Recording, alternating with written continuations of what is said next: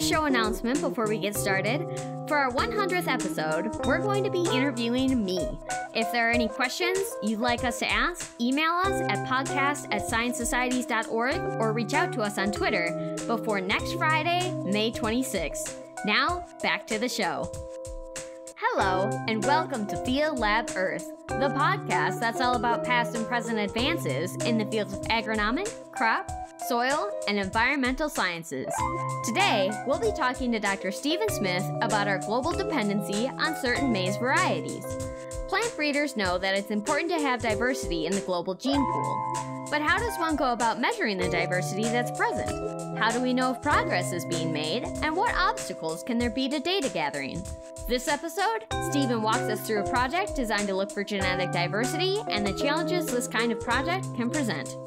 We'll talk more about that in a minute, but before we dive in, we want to thank our sponsor for this episode, Meter Group. Meter specializes in robust soil moisture sensing, innovative weather monitoring, cloud data logging, advanced data visualization software, and more. Their well published scientific instrumentation is used worldwide in universities, research and testing labs, government agencies, agriculture, and industrial applications. Listen to their new podcast, We Measure the World, to hear how innovative researchers leverage environmental data to make our world a better and more sustainable place at metergroup.com slash fieldlabearth. I'm your host, Abby Morrison. Let's talk about science. Hi, everyone, and welcome to the show. Today we have Stephen Smith with us. Stephen got a bachelor's from the University of London in 1974. He earned a master's in genetic conservation in 1975 and a PhD in taxonomy and evolution of maize in 1977, both from the University of Birmingham and UK. His postdoc work was with maize and teosinte evolution and diversity with Major M. Goodman at North Carolina State University in 1977. From 1980 to 2015, he worked at Pioneer Hi-Bred International in Des Moines, Iowa, working on variety identification, genetic diversity, intellectual property protection, and genetic gain. Since 2017, he's been a professor and lecturer at Iowa State University for agronomy and seed science. Hi, Stephen. How are you doing today? Well, very well, thank you. The sun has come out again in Iowa, as people know who live in the Midwest we can go from 80 degrees to 37 degrees in three days, which we have done, and we're getting back up towards the 80s again. Yep, that's that's exactly what happened to us this weekend in Wisconsin, not too far away. Well, we are so glad to have you today. So, as people might have guessed from your bio, we are going to be talking about maize today, and specifically about just uh the genetic materials that are used in crop breeding with maize. So, to get started, can you just tell us a little bit about some of the problems that crop breeders can face related to that issue and specifically some of the background of that in the US? Yes. So, um, the genetic base is is what we refer to as the genetic diversity that um, farmers and breeders um, use most of the time. So maize was domesticated uh, originally in Mexico, in Oaxaca, about 8,000 years ago. Uh, it then people then carried it northwards and southwards through the Americas. Maize arrived in the North American continent about 5,000 years ago and was cultivated up in New England around 1000 AD. Um, and then, of course, maize was much more widely used uh, on the east side of the United States, and that was particularly after there was another introduction very recently in, in modern terms in the um, 16, 1700s from um, uh, the Caribbean, quite likely from uh, by Spanish uh, explorers. And the two different parts of corn came together, the northern flints and the southern dents, to form what was called the corn belt dent. So that was an amalgam mixing of two quite different races of maize to produce what is now the most widely cultivated uh, set of genetic diversity in not only in the United States, but very widely used in the world called the corn belt dents. And and it it was quite quite diverse. And and you need diversity because plant breeders cross um, two parents together, and they the genetics recombine and segregate, and you're creating new diverse new diverse arrangements of that genetics, and you're selecting for plants that perform the best.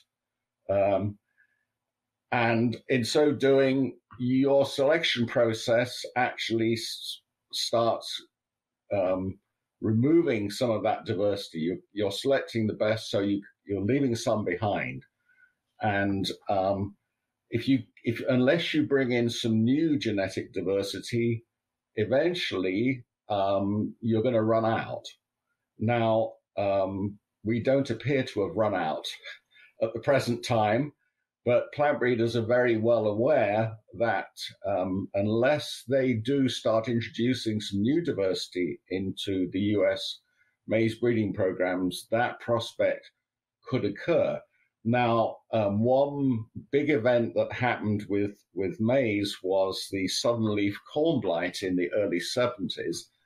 And that was a result of most of US corn being in a particular cytoplasm, which is not the nuclear genetic part. Um, but it was an example of where if your um, genetic or cytoplasmic material is, is too narrow and doesn't have all the diversity that you need, and it's particularly vulnerable to um, a disease, the southern leaf corn blight organism, uh, then you're going to have a bit of a disaster. And that's what happened in the uh, early 1970s when they had the big outbreak of southern leaf corn blight. And um, about 15% of US maize was lost. Uh, and that was valued at about 7.2 billion. Um, that's in current um, terms. So that's, that's inflation adjusted. So um, that event actually led to a big report and study by the National Research Council, which is essentially National National Academy of Sciences. So they looked at the genetic diversity of major U.S. crops and issued a report in 1972 with some recommendations. And um, we were interested, my co-authors and I, in looking at the extent of usage of the Corn Belt dents uh, in the United States. And we thought, well, we'll try and see if we can figure out um, just how widely used uh, that set of genetic diversity is in the rest of the world. I mean, it's uh, this was nothing new though, because it was well, it's been well known for decades that the Corn Belt dents are used in other countries. But we thought it'd be a good opportunity to see what the trends have been in the last few decades since that report came out. And it just then so happened that uh, when I started thinking about how I was going to write the uh, the introduction, I suddenly twigged that by golly, uh, if we got this manuscript ready by about 2022, that just so happened to be 50 years since that report came out. So that was a nice little hook to hang hang the paper on. Yeah, absolutely. So then, did the NRC like what? Were, I was about to ask, did they have specific recommendations? But of course they did. So, can you tell me a little bit more about what those were and if there was any kind of timeline or, you know, like a hard goal that they were trying to reach? Or was it just kind of here's some things that you should consider when you're doing plant breeding? How, how did that all shake out? I think it was more general like that. They they understood that breeders create diversity when they cross parents together and let them recombine and segregate, and and then you've got more mutations may happen, but that's pretty slow rate. Um, they understood that. They went through the breeding process to explain how breeders do what they do, and and they understood that selection per se without adding anything more, add, adding new diversity will will eventually, and everyone knows this, uh, reduce the diversity. So um, they were looking. They tried to get some estimates of how much diversity there was in, in the US major crops. And of course, um, 50 years ago, this may be uh, news to many young people, um, but there were no molecular markers. So these days, everyone thinks, well, it's quite simple to measure diversity. You just go and send it off to the sequencing lab and come back two days later, and there you go. Um, well, no, I'm sorry, it wasn't like that. For example, um, it was only by the late 70s in maize that there were 20 genes that you could use to look at the genetic diversity of, of, of maize, for example, the um, isozyme systems that were developed at North Carolina State. So there, there were some things you would like to do, which is measure diversity, but those tools weren't available. They talked about being monitoring this, and um, and you can do that to some extent by looking at pedigrees, um, looking at the and, and which inbred lines are used more than others, and what's their pedigree background, and then is there change in time? And uh, there have been studies reviewing this on a sort of regular basis. They their primary recommendation, at least for maize, and that's the one I've looked at. Really, I haven't looked at the others so much, but was there should be a new way of of considering how you do breeding, and by that I think they meant you programs need to be developed so that there is new diversity coming into a breeding program. Now, the challenge that plant breeders face in doing that is that it's awfully easy to add new diversity. I mean, it would be, it's very simple. Uh, you could uh, just go and cross in uh, the wild relative of maize, teosinte, and have lots of diversity. And if you were a commercial breeder, you'd be bankrupt three years later, if not sooner, because you have to um, have useful diversity. And uh, the challenge of the, one of the primary challenges of plant breeding has been, is, and always will be to find useful diversity. There's lots of diversity, but you have to find useful diversity. And um, a lot of the um, materials that would add to the diversity of US corn happen to be in the tropics they're adapted to a completely different environment. Um, if you plant them in Iowa, they may go to be 20 feet tall um, before they will flower because of day length issues. So there's there's quite a bit of work required to adapt what we call exotic genetic diversity before you can even begin to test it in the what's called a target environment, say in the Midwest to see if it's any use. And and then, in fact, it might take several decades to actually um, find keep finding useful useful stuff. Um, so that that was well said by them, and in fact, some prog- programs were then developed um, to actually undertake undertake those activities. Uh, so, for example, um, well, Major Goodman at NC State had a program to um, adapt tropical hybrids to evaluate uh, their utility and bring new germplasm into the United States. And there's there are several programs. The, another well-known one is the Genetic Enhancement of Maize Project up at Iowa State. So those programs um, have been underway. Um, and one of the questions we looked at was, well, what what um, evidence do we have that new diversity has actually been introduced into the United States in terms of being uh, in varieties that are grown on farmers' fields these days? What has the situation changed in terms of the genetic diversity from 1972 till now? Yeah. Oh, I love that answer. I'm so glad you mentioned just how the, the diversity is incorporated because in my mind, I'm like, you know, do you just throw in a random one every, you know, four generations just to spice it up, you know? and obviously that is not very practical, as you mentioned. So I love that. Um, thank you for just answering my question before I even had it.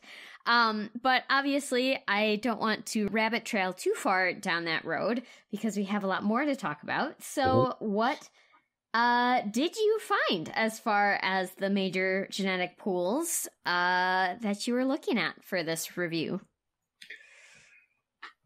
Well, what we found was that there is not a lot of transparency in in getting hold of the data in a public published format that you would need to be able to answer the questions. So, for example, what we did was well, first of all, we we looked at the major the major maize producing countries, and um, that's obviously United States and China. Those two countries together produce um, nearly about half of global maize. Um, so US is about 27% of global production, China 19%, then Brazil 6.2, Argentina 3, Ukraine 2.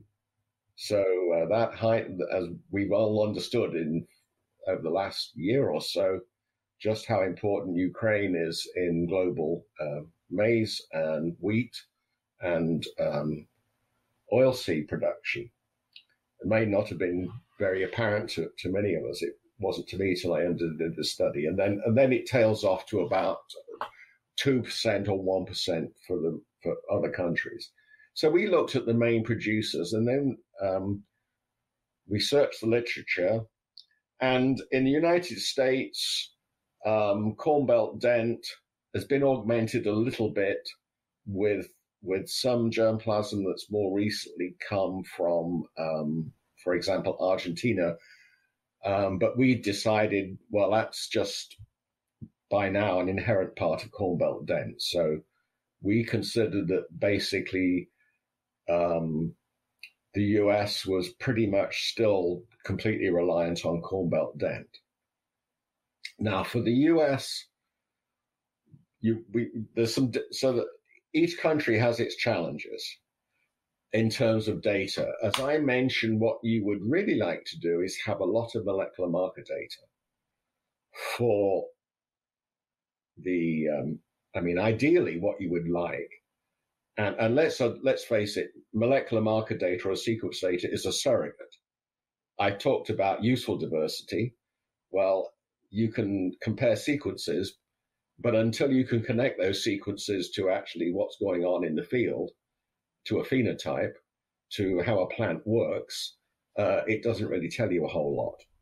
Sure. Unless you've got some idea what what um, what the sequence might be coding for, what proteins and but I mean, um, to to know what's useful, you have to connect sequences to phenotypic performance.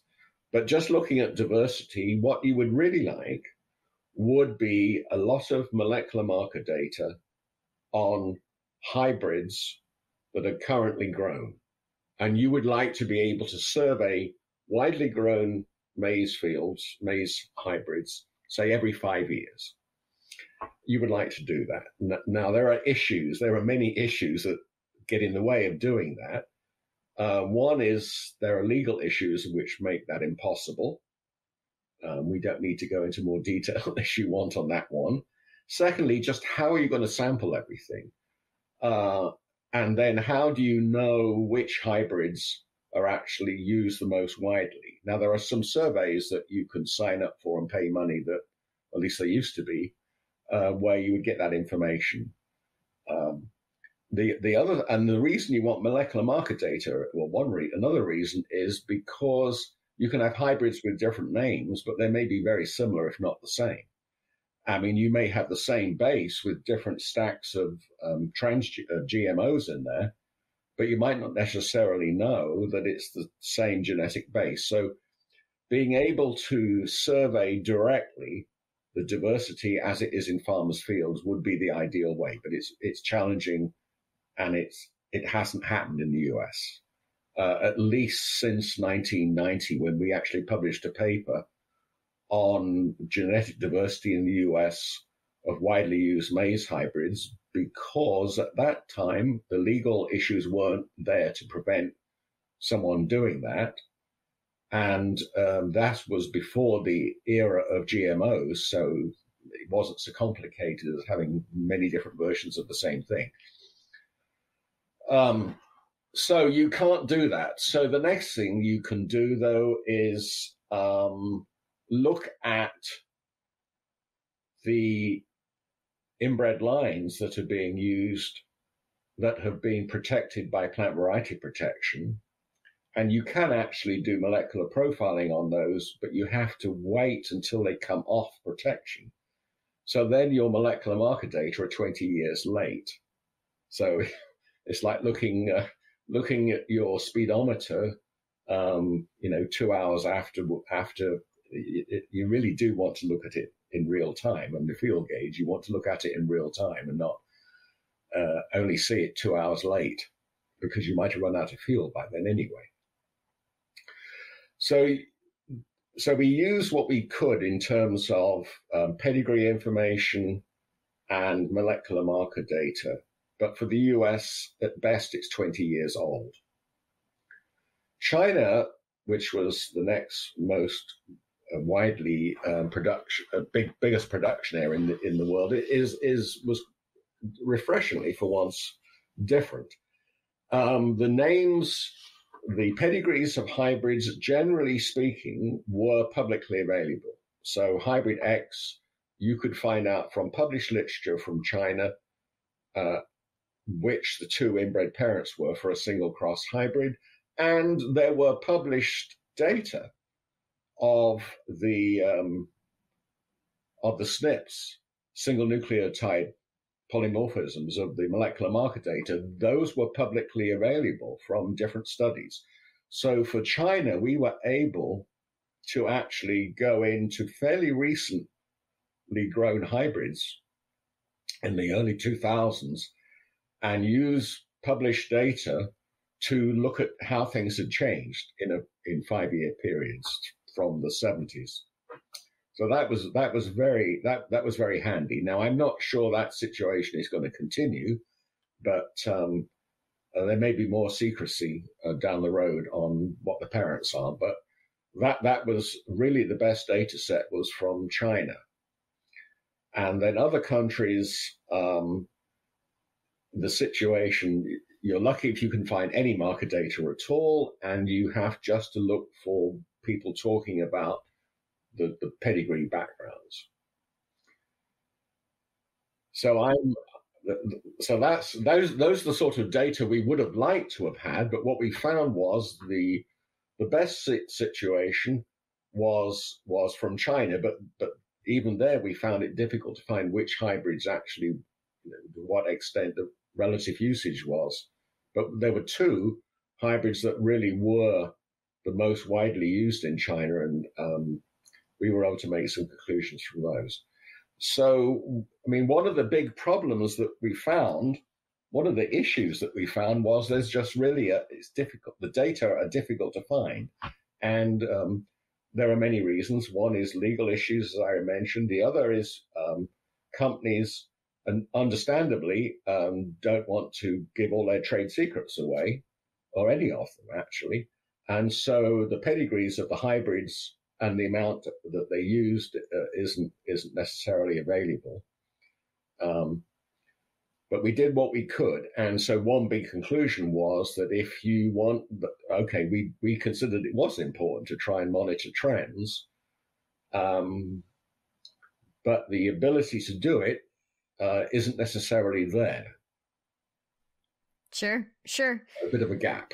Yeah, yeah. So for this gap, I mean, is there any and maybe this is another one of those things that's just impossible to tell, but is there a way to tell like maybe we're working on it and it just hasn't like made the jump into use in the field or is it just like too much of a black box to even know. I mean, obviously, like every plant breeder we've ever had on the show is hyper aware of the issue of needing that diversity. So it's not like nobody's thinking about it. so, I mean, is there, did you find anything that was like an optimistic thing, or is it just like we can't tell and need to like build up our systems in order to get there? Well, well as you said, plant breeders know full well that this is an important issue, and they know that unless they're able to bring in some new, and it has to be useful, and as I've said, that's the challenge, diversity. They will, they don't have a long term program. Um, plant breeders, um, they they have to balance the short term with the long term. If they aren't successful in the short term, they're gonna there is no long term.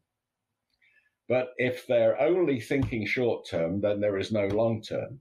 So it's it's a balance that has to be kept. And I think the challenge these days is when you have breeding organizations with um, the top management being more of a background from business and accountancy or law, they need to be very um, good at listening to their plant breeders.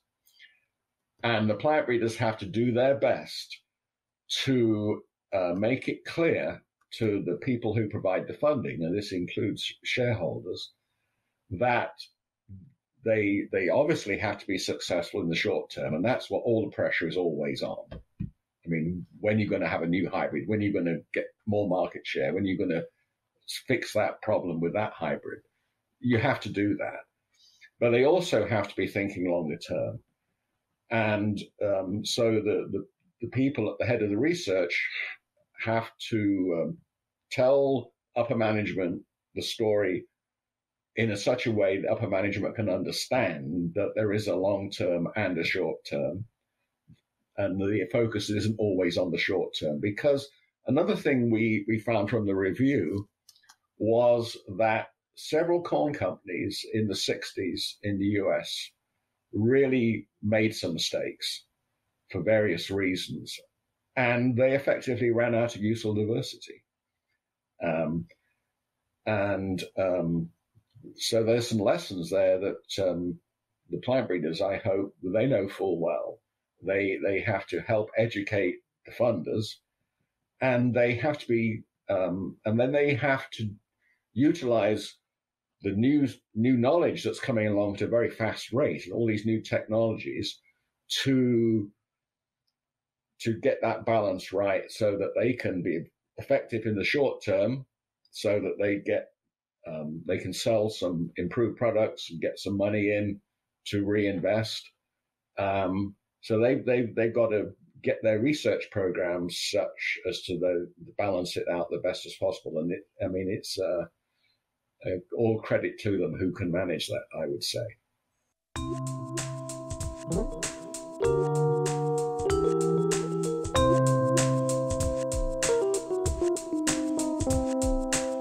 Everyone. I hope you're enjoying the show. Interested in learning more? Stephen's paper, Global Dependence Upon Corn Belt Dent Maize Germplasm Challenges and Opportunities, published in Crop Science, is always freely available. If you are a certified crop advisor or certified professional soil scientist, you can take a quiz for continuing education units for this episode, which can be found in our show notes or on certifiedcropadvisor.org. Thanks again also to our sponsor, Meter Group.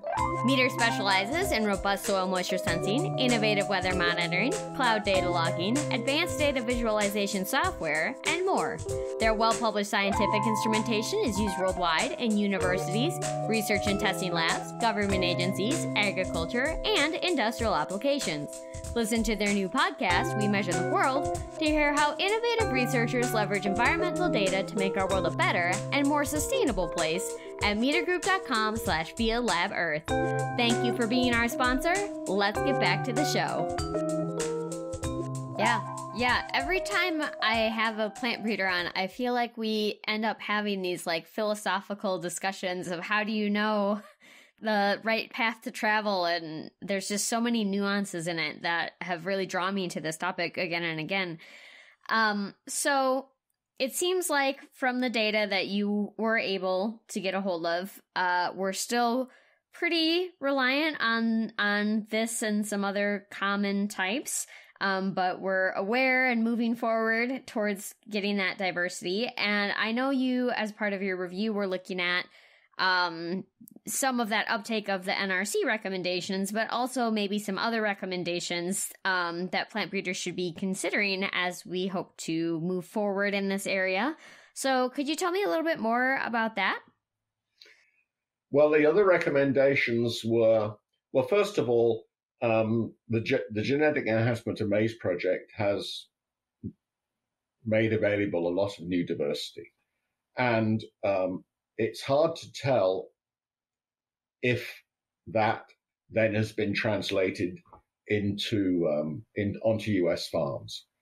Uh, also, companies have purchased other companies, and um, now, if you just purchase another company in the United States, you're probably not going to increase the genetic base because it's already in the United States. But there's been some purchases uh, outside. There may have, there may be some new diversity there. Um, we were unable to tell that because we didn't we weren't able to get molecular marker data, and the pedigree information sort of runs up against a, a, a bit of a buffer. You come up with a name that you've no idea what it means. So we suspect that there has been some introduction of new genetics, but we couldn't prove it. And um, getting back to the plant breeders, they they they now use sequence data pretty much in maize breeding pretty much on a routine basis.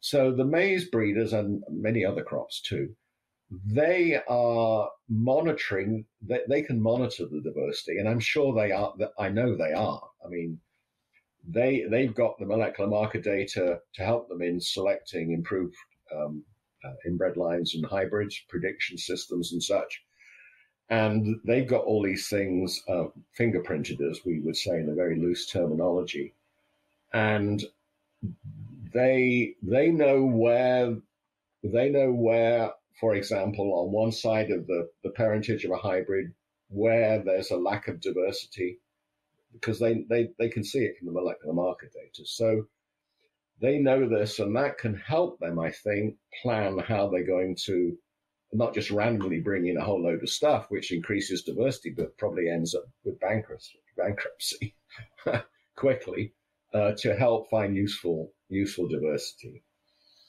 Um, what we, we also found was that there's an increased use of corn belt dent around the world. And the changes that have happened in the US, where there's been um, some of the older inbred lines and corn people will know these names, from B73 from Iowa State, B37, Ohio 43, Missouri 17. These are golden oldie lines. Um, there's been a, decline in the use of those. and there's an increase in usage of something called iodent that was um, developed initially by Pioneer over several decades from the 1930s through the 60s, 70s. Um, those changes are also, you, we could see them happening in China. Just a few years after here, very quickly, China is is updating its genetics, and it's very similar to the genetics from the US, um, which is good for their product productivity. But again, it, on a global basis, we're narrowing. So one of the recommendations was that the National Research Council report was for the US, but um, this is a global issue. So the world needs to think this through on a global basis, and we're talking about global diversity. So um, that there are more resources out there now. As I mentioned, tropical hybrids. If you grow them in the US, uh, you know they'll probably frost will come before before the seed matures, and you'll need several step ladders to to get up and do pollinations. But if more more funding of breeding tropical stuff in the tropics, uh, that that in effect is doing what we call pre-breeding for other regions. So the more that um, useful germplasm genetic diversity can be found in tropical hybrids in, in the tropics and subtropics, that then tells you, well, that, that's potentially useful in in uh, temperate climates and vice versa. So I think it, it, it there needs to be more funding, um, more support going into trop- breeding tropical tropical maize because that that is useful on a global basis. We sure. So that actually moves us pretty smoothly into my next question, which was actually uh, what are maybe the future recommendations for or future research areas that we could grow in?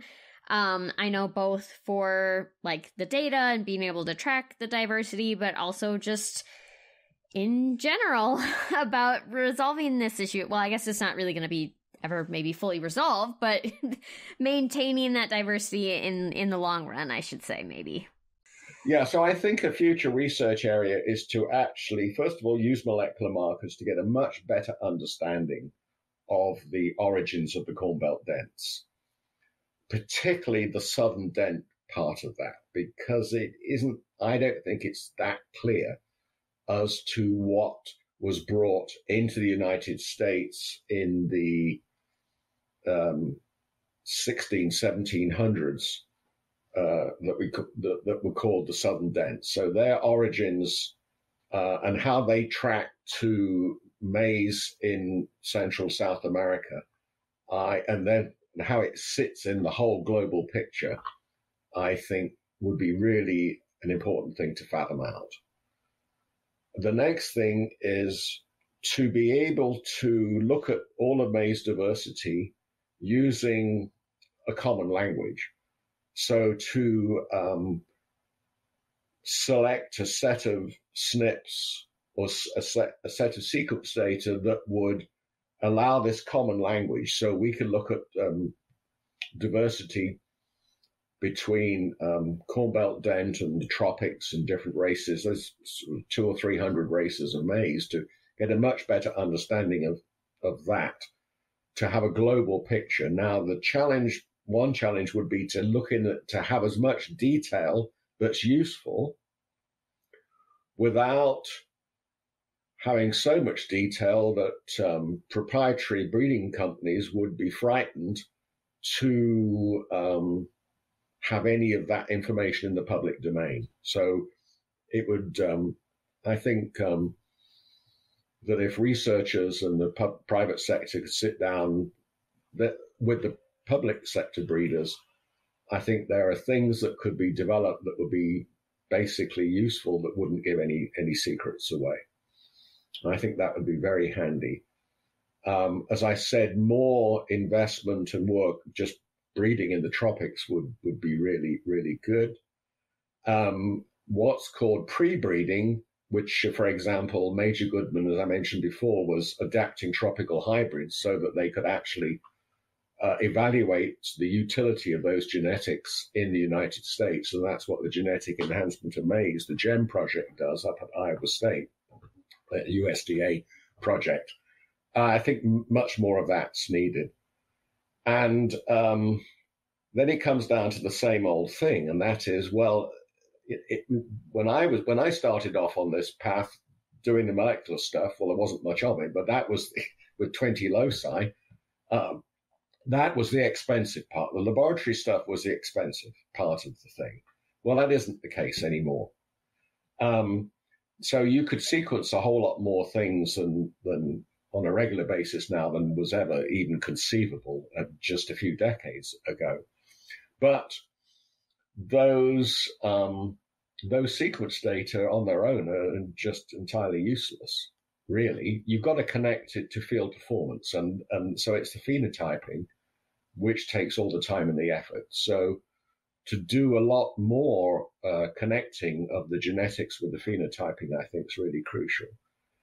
Now, some people, um, I mean, it's it's very humans get dazzled with technology, and um, you know, 30 years ago, we were all dazzled with GMOs and all that was going to really solve everything.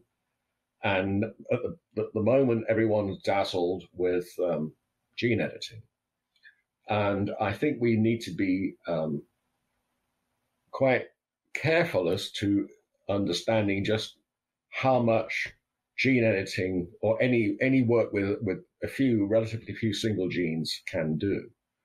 Um, you know, someone might say, "Well, what we don't need all this diversity. I mean, it's just you. We can mutate things and we can edit everything we want." Um, well, I I think uh, that would be it's putting all your eggs in one basket. I mean, it, you're making a huge bet, and when you don't need to, and I think that would be stupid. And there are many characteristics. Most of the important agronomic characteristics um, are controlled by many genes of individually small effect. And to whether or not we'll ever be able to uh, identify some of those, I think is a question. And so that this is where pre-breeding comes in. So lots of molecular marker work, phenotyping, uh, gene editing, great. Uh, but let's also not forget that what we call pre-breeding, which is the beginning of adapting a tropical material, for example, to the temperate environment, and then some breeding cycles using those materials. I mean, it, it's taken 70 years to still get new stuff out of corn belt dents. So you, the breeders, you know, you, they're not going to be able to find everything in the next three years. It takes time to um, recombine the genetics and and sift through this stuff. Um, so I think um, the, pre-breeding, where we're actually just trying to tease out and look for useful materials, um, that, that that that's that's an important part that just has to keep going on. Now, uh, to to get the, the stock market analysts really excited about something like that is tough because you know you want to show them all this all the new, latest whiz bang technology and um, get that. I the, the trick is to get them all excited so you you get funding and, and then let the plant breeders figure out where they're going to best invest those resources into what they're doing. Yeah, I think those are just some great uh, places to go. I'm a huge fan of using all the tools in the toolkit, so I like that approach. Um, I did just want to mention, because uh, I know the term has come up a few times before, and I forgot to mention it earlier. Um, phenotyping is like the more physical side, the traits you can see uh, with your senses, as opposed to like the genetics of things, just so anyone who's unfamiliar with that term. Um, so I have three questions left for you. So the first one is where can listeners learn more about this topic? Okay, um, there are several places. One good place to go is CIMMYT, C I M M Y T. That uh, is the Maize and Wheat Improvement Center in Mexico, part of what's called the CGIAR system. Norman Borlaug um, we'll, we'll talk about wheat for two seconds here. The, the wheat breeder who was born in Iowa, he did lots of work for the Green Revolution. He was working out of CIMMYT a lot of the time. CIMMYT have a, a really good program um, with maize where they are, in fact, combining molecular marker data with a lot of phenotyping to connect the genetics with then how the plant looks and operates in the in the field. That they have a lot of good information. The USDA um, North Regional Plant Introduction Station in Ames um, is is a really good place to go to. The um, the National uh, Plant Germplasm System (NPGS) is a really good place to go on the USDA website. Another really good place to go to is the Crop Trust. Um, www.croptrust.org. Uh, that's an endowment fund set up to um, provide money to support genetic conservation in gene banks, and they are they they're concerned a lot about diversity of genetic resources. Um, so there's just a few few useful places to, to go to. Yeah, for sure. We'll include links to all those in the show notes. Good. Um, so then the second question is if listeners want to get involved with any of this, what can they do? Yeah, well, um, everyone eats food, and um, I eat too much, by the way, and have done for a long time, and it's difficult not to for me, but I try somewhat. Um, and it's really wonderful that everyone now is thinking about the environment. And even in Iowa, where you know we're surrounded with cornfields and soybean fields, many of the people here do not understand what's actually going on. That farmers actually um, plant new seeds, new varieties, and the breeders uh, at the various breeding companies here in Iowa State uh, are developing uh, improved varieties. They they don't know any of that, and so I think it's really crucial to um, make the public, whenever you got the opportunity, in a chatting to someone in the grocery store, uh, or a, do a session at the local library or something uh, just make people aware of where food comes from and what it takes to develop new varieties. And the, in, the, the improved varieties of maize today actually make much more effective use of the water and the sunlight and the um, fertilizers than the older varieties. So they are actually sort of green, no pun intended, they're green technology and um, to to actually make people make this help people make the connection that agriculture how agriculture is done is a crucial part of sustainable living uh, in terms of making more effective use of genetic resources um, rather than just piling on more and more and more fertilizer and having half of it washed down the rivers. Uh, so, and I think you're starting at a real early age to um, have have try and in, in, have a culture where right from the earliest age people understand that the environment's crucial and that how we use it to to produce food crops is is critical part of the whole picture. And I think every, everyone everyone can help, you know, make that point. And the trick then is to tell the story in such a way that the audience you are actually in front of, whoever they may be, I mean, they may be university professors, they may be 10 year olds or whoever can, can understand what you're talking about. Yeah. Yeah, great advice. Love that. Yeah, and talk to and and uh, try and help politicians and policymakers understand this is really important too. Yeah, yeah. Everyone's gotta everyone's gotta know it's important yeah. stuff. Yeah. So then I have one question left for you, which is what is one fun fact that listeners would not know about you if all they had was your research?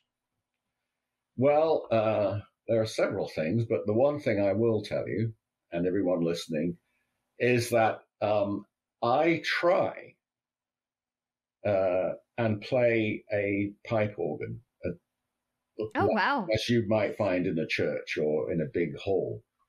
Um, so here you're using both hands and both feet to to play this instrument. And I've actually got uh, a four manual, that's four keyboards, organ console in my house with a full pedal board. And it's connected to a computer. And the computer has in it recorded 15 different cathedral organs. All right, now you don't play them all at once, but you can select one, for example, Hereford Cathedral in England, and up pops on the screen as if you were in Hereford Cathedral, the the stop list, the things you pull out, mm-hmm. bring on a few pipes, and I've got some quite large loudspeakers in the house, and so you can, and if you shut your eyes, you would think you were in Hereford Cathedral, England. Wow. Oh my gosh, listeners, you can't tell, but I just had like the biggest smile on my face the whole time he was Yeah. talking. That's amazing. Yeah. That's very cool. Yeah. Wow. So That's I, I played in a student recital with several other students. I'm I'm the oldest of them all, by the way. You might really gather that. Uh, at Upper Ames uh, last Saturday afternoon, and then next Saturday I'm playing another two pieces uh, at, a, at, a, at, another church in Ames. Which uh, after we finish here on the podcast, I'm going to go and do a bit of practicing. So if oh you gosh. open your windows uh, and it's loud enough, you might hear me. That's amazing. Oh, I love that. What a what a delightful fact. Thank you so much for sharing that. Uh, well, yeah, that's amazing. Thank you for that and all of the other fun research related facts that you shared today. I learned a lot. So thank you so much for your time and for being on the show. It's my pleasure. Thank you all, and thank you everyone for listening. Hi, everyone, and welcome to our Student Spotlight, where we highlight the work of graduate and undergraduate society student members. Today, we'll be talking to Yashwant. Welcome to the show. Can you start us off by introducing yourself and where you're studying? Uh, my name is Yashwant Kumar Pankaj. You can call me Yashwant, and currently I'm working as a graduate assistant research, and I'm pursuing my PhD at Department of Soil and Crop Sciences at Texas A&M University, and my major is plant breeding. Wonderful. And what are you currently researching? Um, I'm working on peanut breeding basically, and peanut breeding genomics to enhance the oil content of peanut, and also developing the new breed for peanut, which could be used as a biodiesel nuts. Yeah. Sure. And if you could have your dream research project, what would that be? Oh, uh, my dream research project would be uh, so in future I, I would like to work in a maybe a USDA or similar organizations as a crop scientist towards crop improvement, their practices and implement new methods to enhance their production. Awesome. Well, if you'd like to get in touch with Yashwant about his work, we'll have his contact information in our show notes. Thank you so much for being on the show, uh, and best wishes on your future studies and career. Thank you. Yeah, you're welcome. Thank you very much.